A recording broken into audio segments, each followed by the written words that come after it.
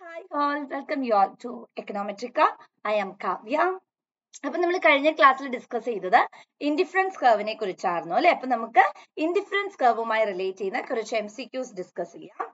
Indifference curve represent എല്ലാവരും പെന്നും പേപ്പറും ഒക്കെ കയ്യിലെടുത്ത് വെക്കുക. എന്തിനാ വെച്ചാൽ എന്നിട്ട് നിങ്ങളുടെ വീഡിയോ കണ്ടതിന് ശേഷം താഴെ എത്ര മാർക്ക് കിട്ടിയെന്ന് കമന്റ് ചെയ്യാൻ മറക്കരുത്. An indifference curve represents combination of two goods that provides the same level of satisfaction, the demand curve for a good, the supply curve for a good, the marginal cost of production. And the right answer is option A, combination of two goods that provide same level of satisfaction. Next question, the slope of an indifference curve is called marginal rate of transformation, marginal rate of substitution, marginal cost and marginal utility.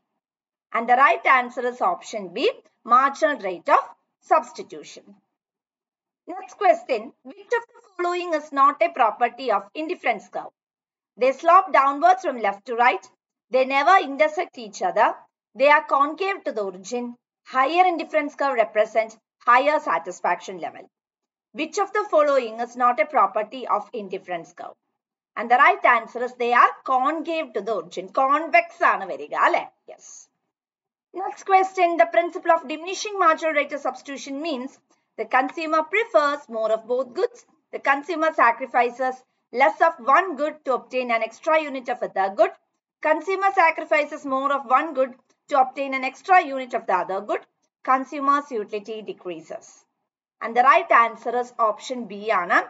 Consumer sacrifices less of one good to obtain an extra unit of the other good. Next question, if two indifference curve intersect, it violates the assumption of transitivity of preferences, completeness of preferences, rational behavior of consumer, diminishing marginal utility.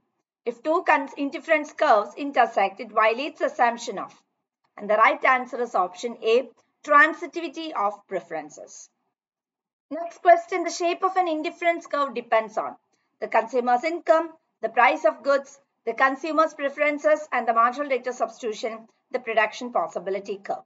The right answer is option C, consumer's preferences and the marginal rate of a substitution. Next question, when an indifference curve is straight, it indicates that the two goods are perfect complements, perfect substitutes, inferior goods and Giffen goods.